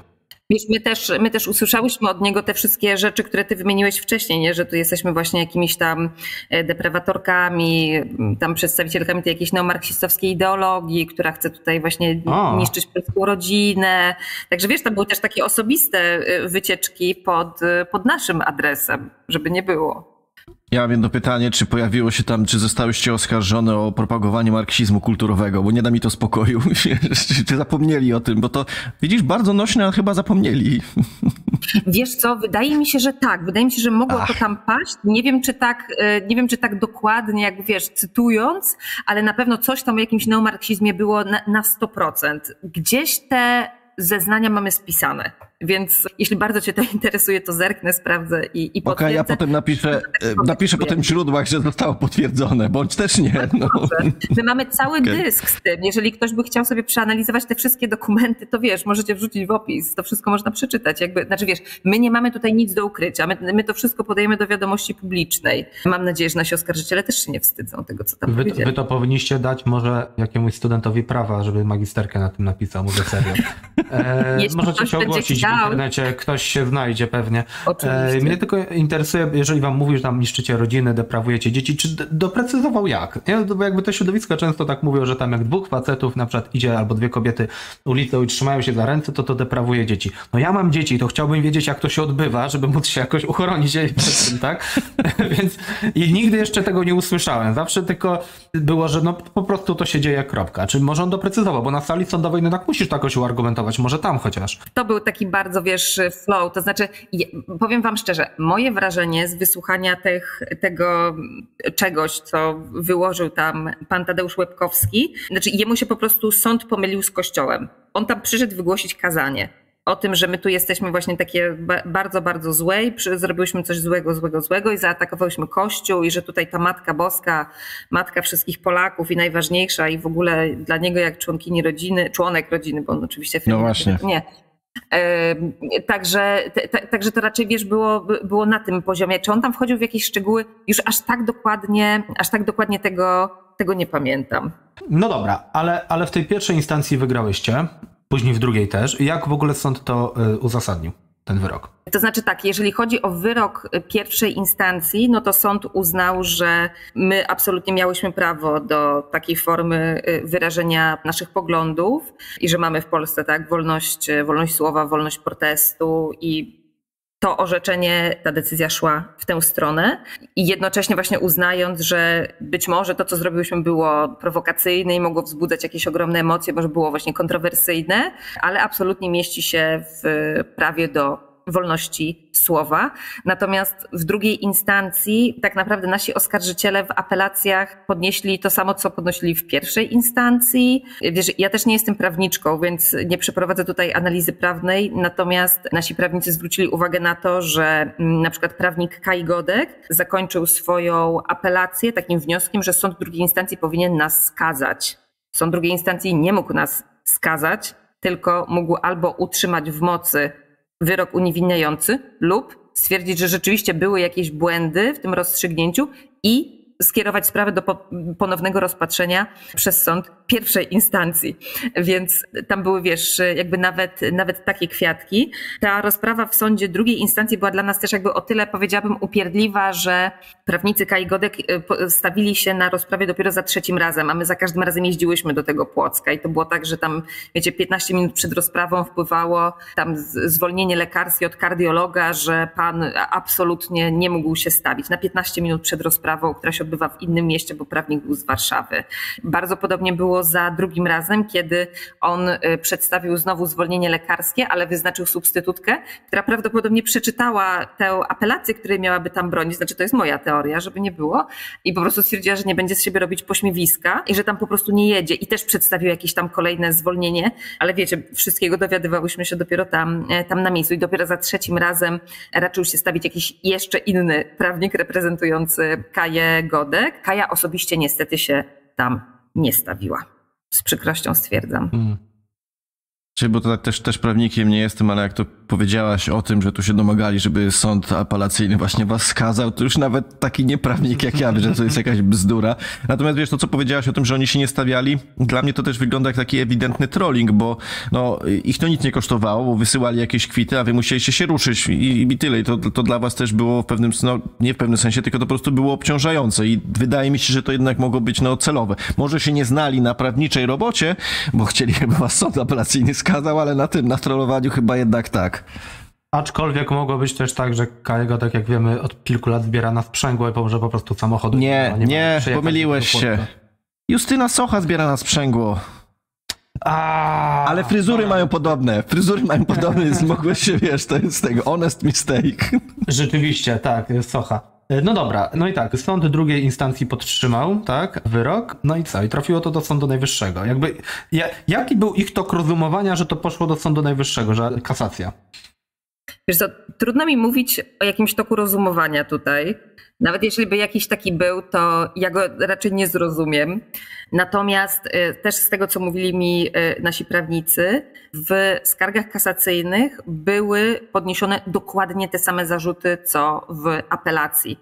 Natomiast w apelacjach można podnosić na przykład zarzuty dotyczące ustaleń stanu faktycznego, tak? Czyli, że sąd na przykład nie wziął pod uwagę czyichś zeznań, jakichś dowodów, albo że pojawiły się jakieś nowe dowody, co mogłoby wpłynąć na to, jakie, jaki ten e, wyrok jest. Ale kasacja polega na czymś już kompletnie innym, czyli to, to, to jest już taka robota, taka wiecie, stricte proceduralno prawnicza. Znaczy tutaj nie rozmawiamy o stanie faktycznym, nie rozmawiamy o tym, czy te naklejki na kiblu były, czy ich nie było. Chociaż wiemy, że ich nie było, no ale powiedzmy, to była jedna z tych kwestii, które oni tam jakoś też, też próbowali podnieść. Natomiast najbardziej tę robotę taką prawniczą próbowała wykonać y, prokuratura, która jednak na tydzień przed rozprawą y, naszą marcową w Sądzie Najwyższym postanowiła wycofać swoją skargę kasacyjną, widząc po prostu, że, że, że, że ta sprawa to jest jakieś totalne przegięcie, tak podejrzewam, i po prostu ta skarga, ta skarga została e, wycofana.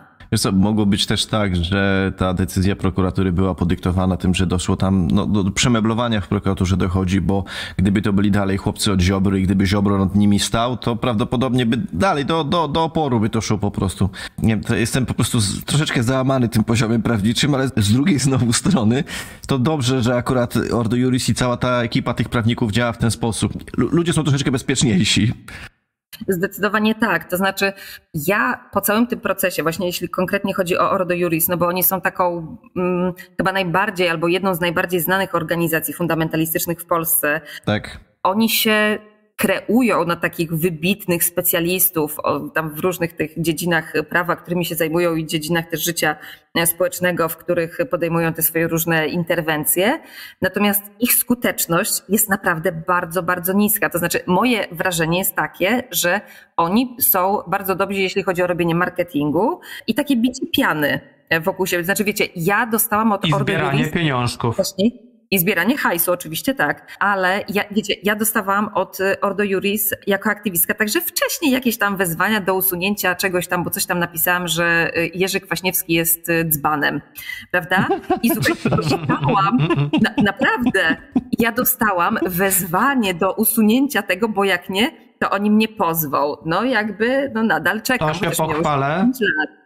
Ja, ja też dostałem, y, gdy jakiś rok temu była taka sytuacja, że czeskie kościoły, wszystkie, te naj- 12, jeżeli dobrze pamiętam, tych największych wyznań, od kościoła katolickiego po jakieś tam mniejszości takie nie- nie- nieliczne, napisali takie wspólne oświadczenie do, do rządu, żeby zajął się sprawą takiego ośrodka, już teraz zapomniałem jak on się nazywa, jakiś Allianz za Familią, coś takiego, generalnie to coś jak Ordo Juris to, y, miejscowe, że oni się uważają tutaj za reprezentantów chrześcijaństwa, a przecież nie może tak być, bo oni tam szczują tutaj na LGBT i tak dalej, i tak dalej.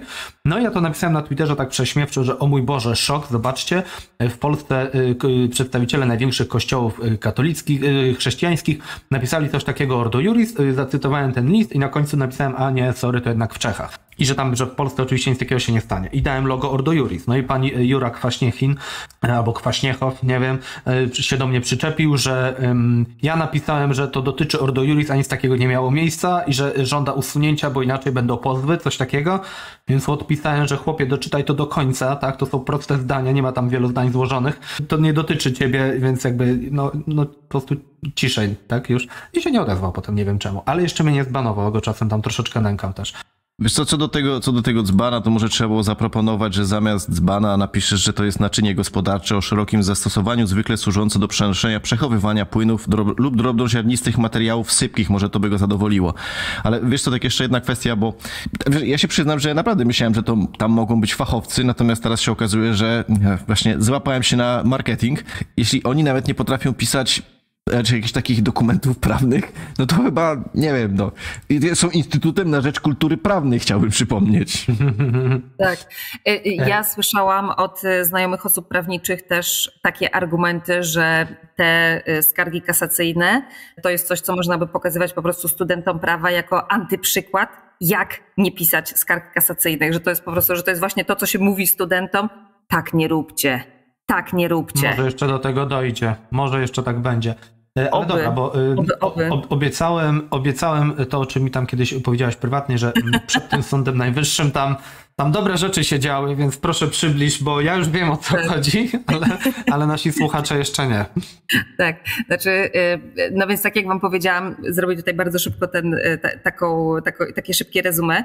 Jeszcze raz, skarga kasacyjna przed Sądem Najwyższym to jest, chodzi o kwestie stricte formalne, prawne, proceduralne, w ogóle nie chodzi o kwestie stanu faktycznego, w ogóle nie chodziło tam o naklejki, o Maryję, o kibel, o kościół, o nic takiego. Ale o tym wszystkim mówili właśnie zarówno prawnicy Kai Godek, prawnik Kai Godek, jak i prawniczki z Ordo Juris, a jedna z nich w pewnym momencie wstała, znaczy ona w ogóle była jakaś taka bardzo poddenerwowana od, od samego początku tej rozprawy i cały czas musicie sobie wyobrazić taki ton takiej ogromnej pretensji, jakim ona to mówi. I w momencie, kiedy jest przez Sąd Najwyższy poproszona o głos, aby uzasadnić tę skargę kasacyjną, którą złożyło Ordo Juris, ona wstaje i zaczyna krzyczeć, zaczyna po prostu krzyczeć na tych sędziów w Sądzie Najwyższym, że Maryja to jest królową Polski i że nie może tak być po prostu, że ktoś na kiblu wiesza taki obrazek, dlatego że zdjęcia matki by się nie powiesiło na kiblu. I słuchajcie, po prostu, znaczy jakby sala wybuchła po prostu śmiechem. Znaczy ludzie nie dali rady, po prostu. Ja byłam w takim szoku akurat, że nawet nie dałam rady się śmiać, bo trochę, trochę nie wierzyłam w to, co słyszę, ale autentycznie, znaczy, znaczy wiesz, to chyba też pokazuje trochę to, o czym, o czym ty mówiłeś, nie? że to jest po prostu marketing i że tu bardzo, bardzo chodzi o to zbieranie hajsu, no bo wiecie, oni teraz wyjdą, zrobią dokładnie to samo, co zrobiła Kaja Godek, tak? To znaczy tu, że Sąd Najwyższy godzi się na prześladowanie chrześcijan. Wielki Czwartek ukrzyżowano Matkę Boską. Coś, to znowu cytat z Kai Godek wiecie, naprawdę i, i to, ale wiecie, bo to działa na czyjeś emocje, w sensie oni, oni mówią do takiego swojego, powiedzmy, twardego elektoratu. Tak. E, moim zdaniem jest ten przekaz kierowany, nie? I to tych ludzi e, utwierdza w tym, że faktycznie jest tutaj systemowo, są ci biedni katolicy uciskani, prześladowani, zakazuje im się po prostu i nawet Sąd Najwyższy ich nie wspiera. Lewacki, Sąd Najwyższy. Tak sobie myślę, że warto jeszcze jedną kwestię poruszyć, że miałeś też troszkę szczęścia, znaczy bardzo dużo, że PiSowi nie udało się dojechać sądownictwa wcześniej, bo ten wyrok to się mogłoby naprawdę zupełnie inaczej potoczyć, bo mógłby być wyrok wydany według tam woli politycznej. O to chodziło przecież w całej tej reformie e, wymiaru sądownictwa, że to naprawdę no, to świeckie sądownictwo się obroniło, ale to o tym warto przypominać, no i trzeba będzie przypominać przy okazji każdych wyborów, bo no naprawdę mogłoby się, mogło się skończyć źle. I tak było no, nieciekawie, no, ośmiu policjantów. Wiem, że się powtarzam, ale to jest nigdy dość powtarzanie. To jest ośmiu gliniarzy, którzy wpada o szóstej nad ranem szukać nalepek. Fajnie, że to mówisz, bo to, jest, to też jest bardzo ważny wątek, absolutnie. Znaczy tutaj, bo faktycznie y, w sądzie pierwszej i drugiej instancji miałyśmy tych prawdziwych sędziów, którzy rozpatrywali naszą sprawę, natomiast do pierwszej rozprawy w Sądzie Najwyższym, do rozpatrzenia naszej sprawy zostało wyznaczonych dwóch neosędziów i jeden sędzia ze starego składu.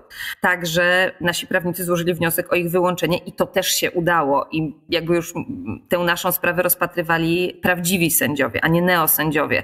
Także faktycznie, no i też pamiętajmy, że gdyby nie to, że pan Ziobro nie jest już prokuratorem generalnym, to prawdopodobnie nas y, uchroniło przed skargą nadzwyczajną do tej specjalnej izby w Sądzie Najwyższym. No tak. Co mogłoby się skończyć, y, no myślę wiadomo jak, no bo ta izba właśnie jest od tego, aby zajmować się takimi sprawami na życzenie pana Ziobry i chcę przypomnieć, że sprawa Jerzego Urbana za tego zdziwionego Jezusa właśnie trafiła dokładnie do tej izby w związku ze skargą nadzwyczajną, którą złożył Ziobro.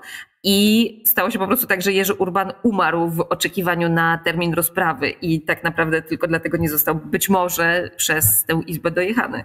Jeszcze warto sprawdzić, że to, to się ciągnie od 2013 roku z tym Jerzym Urbanem, także naprawdę, bo to aż sobie sprawdziłem wtedy, oni mi dostali grzywnę, także bardzo dużo lat to trwało, no. To jakaś totalna głupota. Tylko tyle, że jeszcze tutaj, to, to jeszcze warto jedną rzecz powiedzieć, że w momencie, w którym, czasach, w których to dotyczyło jakichś ludzi, no, ze świecznika, to nie było tak dotkliwe, bo ci ludzie, no, ujmując rzecz tak bardzo brutalnie, mają pieniądze na prawników, natomiast w momencie, w którym dotyczy zwykłych ludzi, no to jeżeli jakiś prawnik się, tak jak wam, ktoś wam pomoże, to jest okej, okay, co jest bardzo fajnie, ale naprawdę ci ludzie mogli być w takiej sytuacji, no wyobraź sobie, że nikt wam nie chciał pomóc i że komuś wjeżdża policja i to, to jest, no, wiesz, ta osoba mogłaby się przyznać do wszystkiego, żeby mieć spokój, jakby została zastraszona.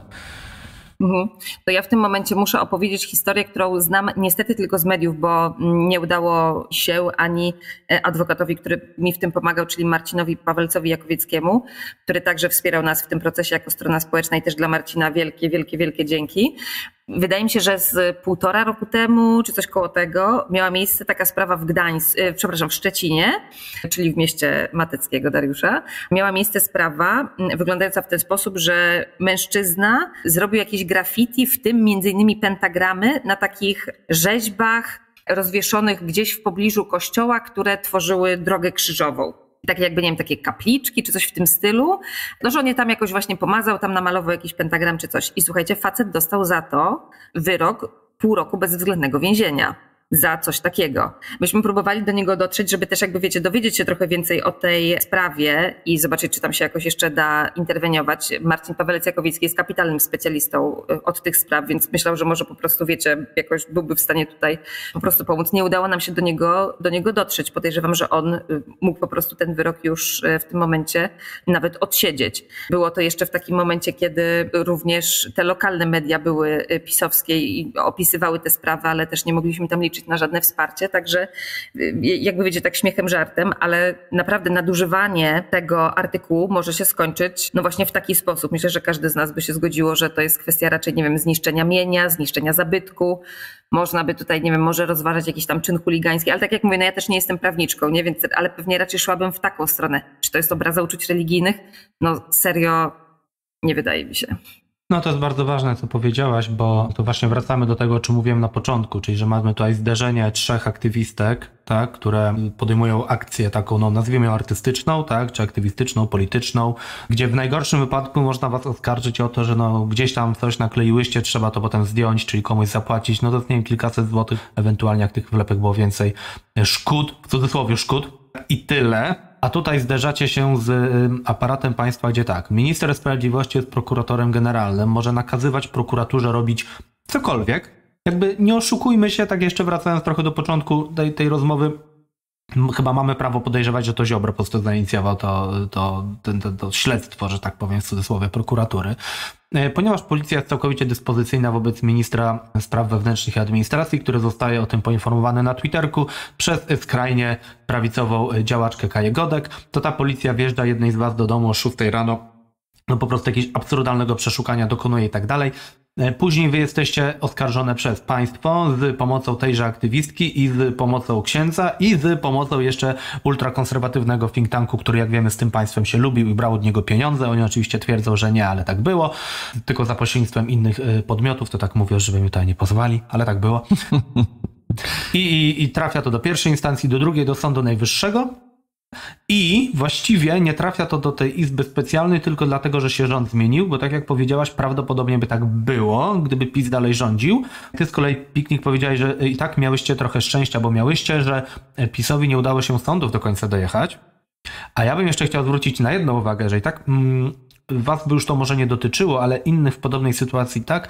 Wszyscy mieliśmy trochę szczęście, że PiS nie wygrał tej trzeciej kadencji, bo przypomnę, że oni jeszcze mieli projekt y, Suwerenno-Solidarna Polska szkalowania kościoła. I tam miały być 3 lata więzienia, zaszkalowanie kościoła, jakieś tam e, zakłócanie mszy, szkalowanie wiary. To były, właśnie te przepisy były tak doskonale ogólnikowo opisane, że mogło oznaczać wszystko. Czyli generalnie jakby ktoś napisał, nie wiem, na, na Facebooku nawet, jestem ateistą, uważam, że Boga nie ma, to już by to mogło być uznane za szkalowanie wiary zagrożone trzema latami e, więzienia.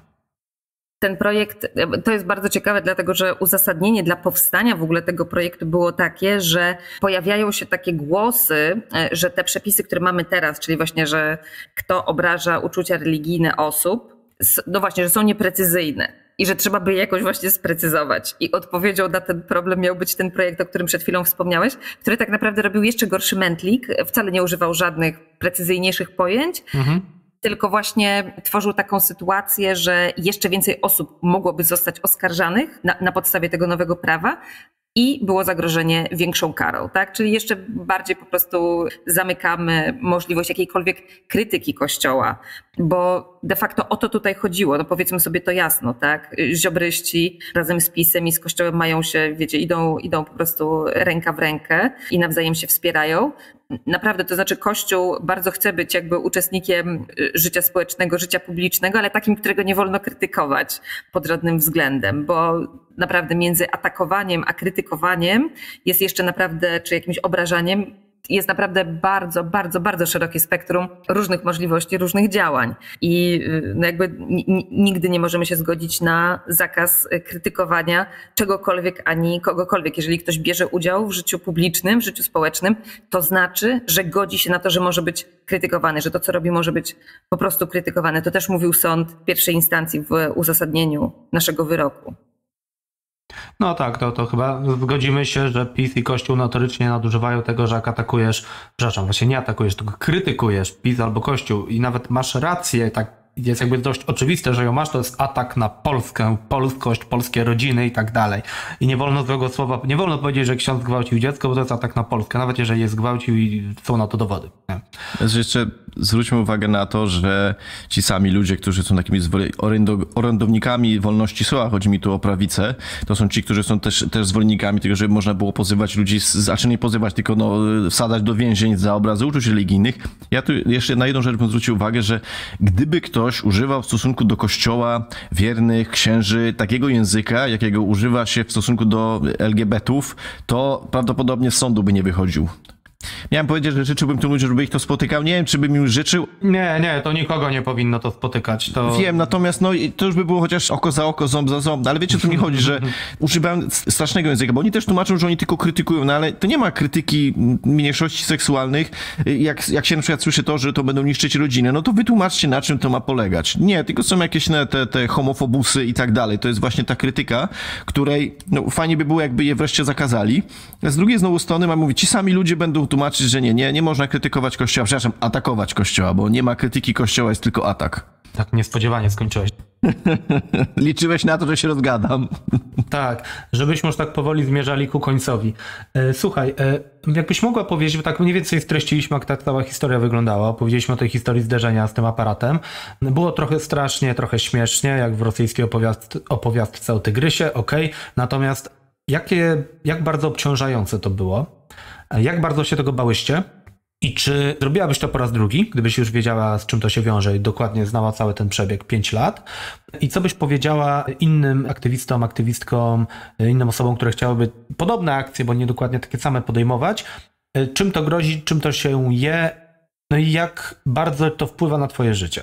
Zacznę może od tego, czy zrobiłabym to drugi raz, wiedząc jak to wyglądało przez te ostatnie pięć lat. Absolutnie tak. I nawet raz tak powiedziałyśmy, że zrobiłyśmy, zrobiłybyśmy dokładnie to samo poza jednym detalem, bo na tym naszym obrazku zarówno Maryja, jak i Jezus mają flagę sześciokolorową, tą, że tak powiem, ogólną LGBT-ową, a Jezusowi dałybyśmy po prostu flagę osób trans. I to jest jedyne, co byśmy zmieniły. Powiedziałam to kiedyś na spotkaniu, w którym brała udział Beata Kempa, która wyszła stamtąd po prostu z taką historią, że nawet z TVN-em nie chciała rozmawiać. Pamiętam, że potem właśnie dziennikarze TVN się mnie pytali, ale co tam się stało, że pani Beata Kempa nie chciała z nami rozmawiać? Mówię, to ja panu pokażę. Oto ta naklejka. A, okej, okay, rozumiem. Wszystko jasne.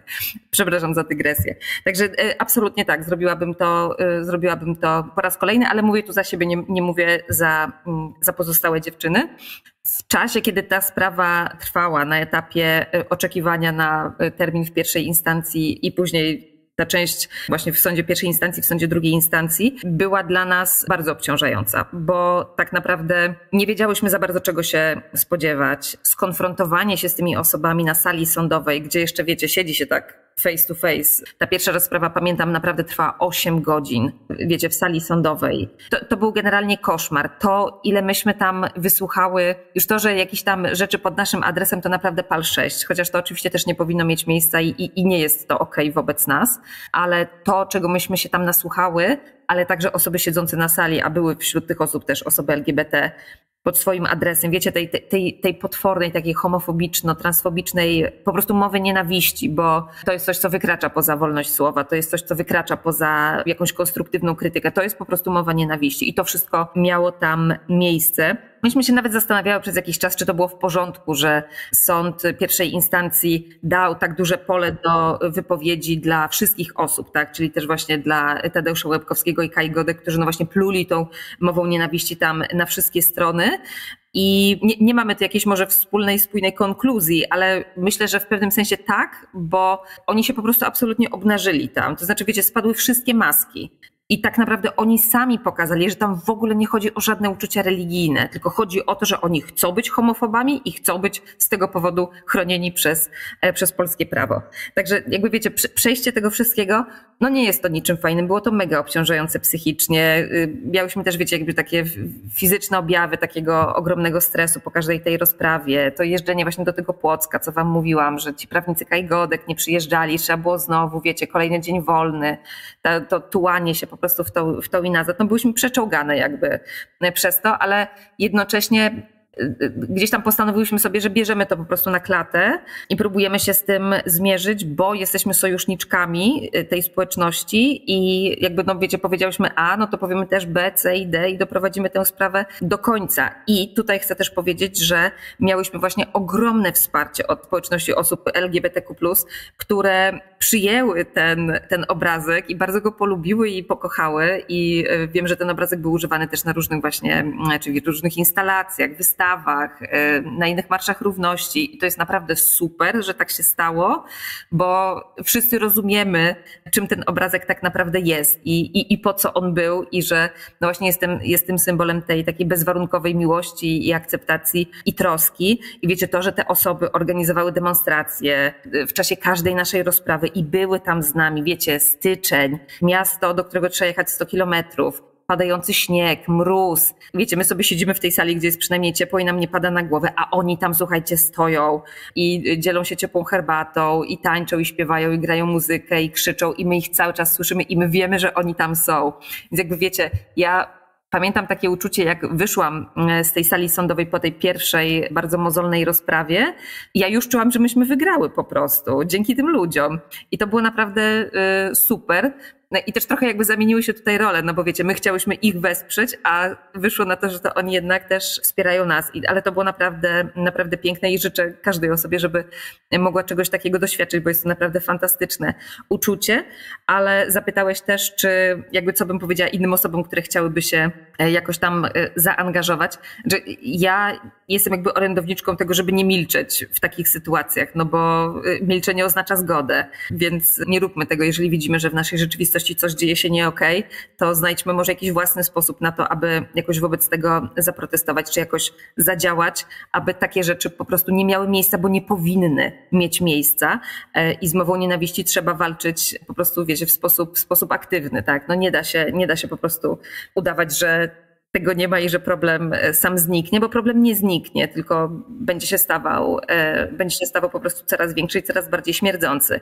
Ale też, e, tak jak mówię, no my poniosłyśmy jakieś tam nasze konsekwencje, takie wiecie, zdrowotno-emocjonalno-psychiczne w trakcie całego tego procesu i mówię o tym też otwarcie właśnie dlatego, żeby osoby wiedziały z czym może się to wiązać, chociaż w tym momencie mamy też jakby przynajmniej chwilowo jakąś trochę bezpieczniejszą sytuację polityczną i wątpię, żeby prokuratura była w taki sposób politycznie wykorzystywana w tym momencie, chociaż wiecie, no różne rzeczy oczywiście mogą się zdarzyć, nie, nie, nie, nie daje żadnej gwarancji.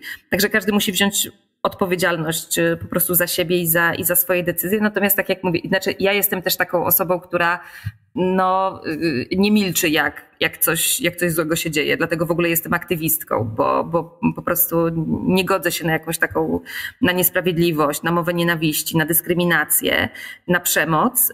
No i po prostu działam, tak, bo, bo czułabym się ja sama nie okej okay ze sobą, gdybym sobie, wiecie, siedziała i z założonymi rękami patrzyła na to wszystko, co się dzieje i nic nie robiła w momencie, kiedy wiem, że mogę coś zrobić, bo e, jako osoba, e, wiecie, e, biała, pełnosprawna, z wykształceniem, mieszkająca w dużym mieście, mająca jakieś tam, jakieś tam tego rodzaju zasoby, ja po prostu mogę to zrobić.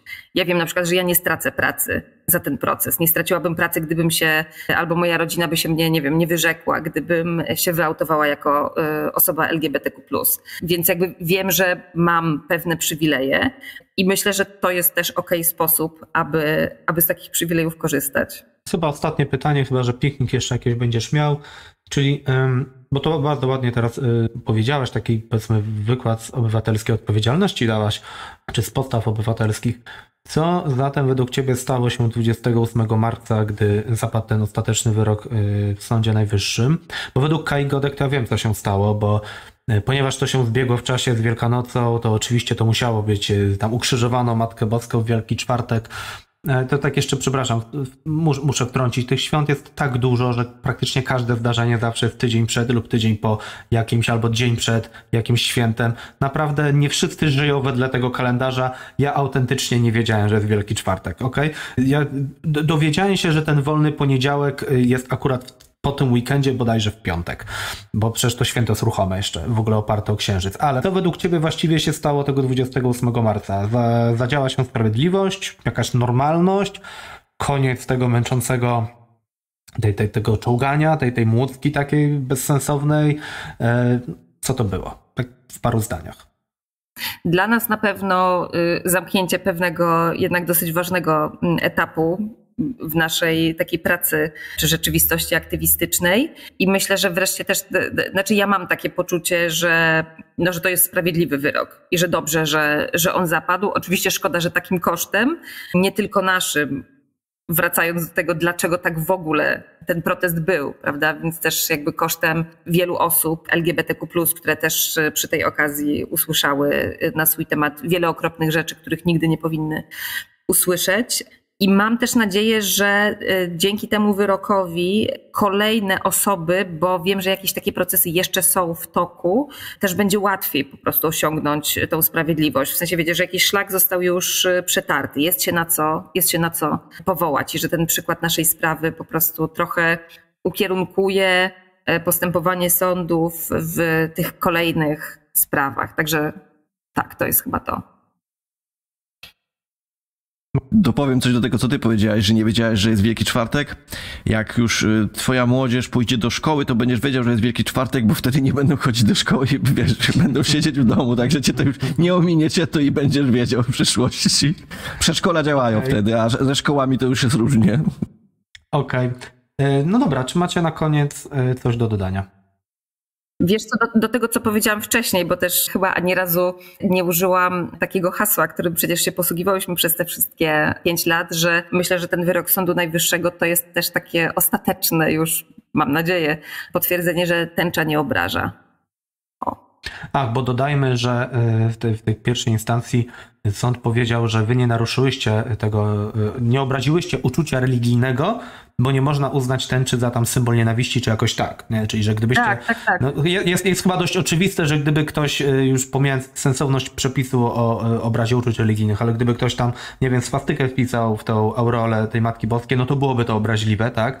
I w dość oczywisty sposób, natomiast no, tęcza nie bardzo. Oczywiście prawa strona stara się od kilku lat zrównać tęczę właśnie ze swastyką, z sierpem i z młotem i z innymi symbolami totalitarnymi, y, no ale no, to nie jest symbol totalitarny. Oni tam się powołują, wiem, znowu do Wójcika muszę wrócić, że ta tęcza LGBT-owa ma sześć kolorów, a w Biblii ta tęcza przymierza Boga z człowiekiem ma siedem, tak jakby to miało jakieś znaczenie, jakby jest to już od kilkudziesięciu lat przyjęty symbol walki e, mniejszości seksualnych o emancypację. No i tyle, tak? Jakby, jakby ilość symboli e, takich prostych, złożonych z kolorowych pasków jest skończona. One zawsze muszą być do siebie trochę podobne, tak? Prędzej czy później. Tak, ale wiesz, my też nigdy jakby nie uciekałyśmy od tego, że to jest dokładnie ta tęcza symbolizująca prawa osób LGBTQ+, bo też Tak, bardzo często osoby... Tak, tak, tak. Osoby nam często pisały, no ale przecież na obrazie Memlinga to coś tam, coś tam. Nie, jakby nie obchodzi mnie Memling. W sensie nie. Mu chodzi o coś innego. Obraz Memlinga tam jest z XV czy z którego wieku. Y, Tęcza jest po prostu zjawiskiem optycznym, które po prostu istnieje. Tak jakby to, że ktoś ją namalował, tak jakbyś powiedziała, że ktoś namalował drzewo. No, i Tak, to dokładnie, drzewo to jest dokładnie. y, święty obraz.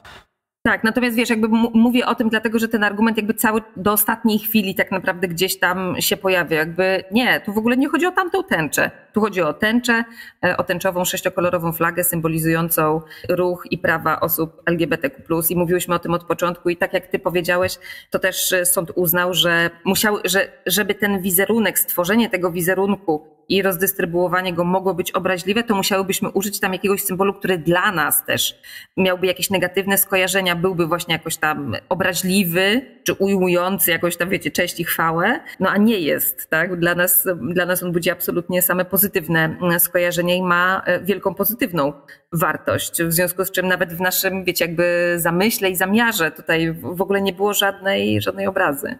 A wykorzystałyśmy ten wizerunek właśnie dlatego, że on jest tak bardzo popularny i tak dobrze rozpoznawalny w Polsce. O to pytała zresztą też y, pani z Ordo Juris w pierwszej instancji. Swoją drogą wyobrażacie sobie taką sytuację, że jesteście właśnie taką super przedstawicielką takiego super Instytutu na Rzecz e, Kultury Prawnej. Macie wszystkie trzy osoby oskarżone, które za chwilę będziecie przesłuchiwać na sali sądowej w tej sali i do każdej z tych osób macie dokładnie te same trzy pytania. Jakby naprawdę. Naprawdę. nie postarała się, nie przyłożyła się. Aha, gratuluję. Nie? Ale właśnie to, to też, to, bo to też było jej pytanie, więc jakby y, po- podkreślam to tak, celowo wybrałyśmy ten obraz, wiedząc, że jest otoczony kultem przez pewne osoby i jakby spoko, proszę uprzejmie. I, I tak, i właśnie dlatego go wybrałyśmy. O, nie, Czy ja wiem, no takim pozytywnym może taki apel na samym końcu wystosować, żeby po przesłuchaniu tego pamiętać o tym, co się działo i co się może dziać, jeśli jeszcze kiedykolwiek prawica u nas, taka po- spod znaku PiSu, spod znaku kościoła, dojdzie do władzy. To znaczy, że zwykły obywatel może się zderzyć ze ścianą po prostu, bo y, zrobi coś, co się władzy nie będzie podobało, to o 6 rano mogą go odwiedzić smutni panowie. Po prostu. Ja bym dopre, doprecyzował, bo to z różnymi władzami może tak być, że coś jej się nie podoba i ci wjeżdża policja. Chodzi chyba bardziej, według mnie to jest większy problem, że prawo było stanowione albo było, była próba egzekwowania tego prawa w oparciu o dogmat religijny. I to, I to też podzielane tylko przez pewną dość małą część takich ekstremistów religijnych, bo jednak zdecydowana większość katolików w Polsce nie podziela poglądów Ordo Juris. Ordo Juris reprezentuje jakiś tam, no nie chcę mówić czy 1% czy 3%, ale no powiedzmy maksymalnie kilka procent tych takich najbardziej radykal, radykalnych katolików. E, Zdecydowana większość Polaków, e, a tam za katolików się uważa 70%, do kościoła chodzi około 30 e, czy tam 25, e, no to, to nie są Ordo Jurisowcy, to są zwykli ludzie, którzy po prostu sobie wierzą. I to, I to też jest dosyć być może ważne tutaj, mm, żeby pokazać, że ten Sąd Najwyższy po tych pięciu latach tej batalii pokazał, że tej mniejszości, głośnej bardzo mniejszości i radykalnej, w którą pompowano publiczne pieniądze, że jej się nie, nie udało narzucić tej własnej takiej fundamentalistycznej narracji jako dominującej. I że e, im się to udaje robić e, tam na Twitterze, w mediach, Czasem im się udaje zastraszyć jakiegoś człowieka albo jakąś organizację.